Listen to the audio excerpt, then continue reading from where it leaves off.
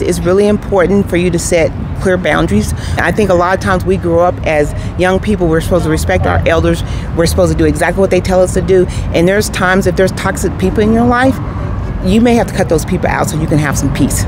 And just because Uncle Bill is around the house, if he doesn't give you peace and it's toxic, then don't go to those family functions. And I think at times we um, feel guilty when we do those things. But like I say, you have got to have peace within yourself. If you if you don't have peace, then what is life about? And so I think you have to have peace even in your own home. You don't bring anyone into your own home. Your home should be a place that you can have peace, you feel comfortable, and if family members or friends or boyfriends, girlfriends, if they don't bring peace to your home, then they got to go. Absolutely. And and how would you go about setting those boundaries? I think you have to have clear expectations and you can't waver. Like you have to say these are my boundaries. I grew up with an alcoholic father. Mm-hmm. When I lived in the home, I could not leave if he was drinking. Mm-hmm. As an adult, when my kids came to my parents' home, mm-hmm. if he started drinking, I knew it's time for me to leave because with my kids, I can set that boundary up. And my mom would say, "No, he'll be okay. He'll be okay."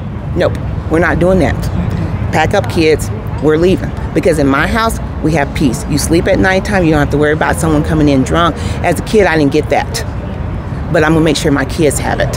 And so you have to set up those clear expectations. You can't let people change your mind about your expectations or people say, well, she's just being a certain way. No, you have to protect yourself. And as a mother, my job is to protect my kids. If I don't protect myself, who will? You know, I'm responsible for myself. Mm-hmm. I mean, my husband will protect me to the very end, but at the end of the day, I'm responsible for making sure I'm protected and not physically being protected, but mental.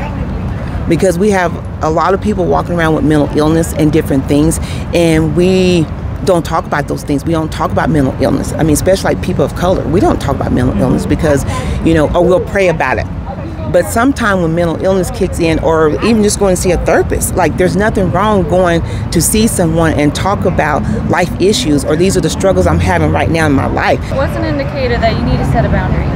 If something doesn't feel right, I mean, the work environment, we work ourselves to death because we just work and put in those hours and we don't know how to set boundaries. Hey, five o'clock, I'm turning off my computer, I'm turning off my phone, I'm I'm not dealing with work. It can wait until tomorrow morning. Because if we don't set those boundaries at work, within our family, I mean, each each person has their own boundaries that they have to set for themselves. My boundaries are not the same as your boundaries. So I think you just have to, um, whatever affects you, and be able to say, hey, I'm not going to do this.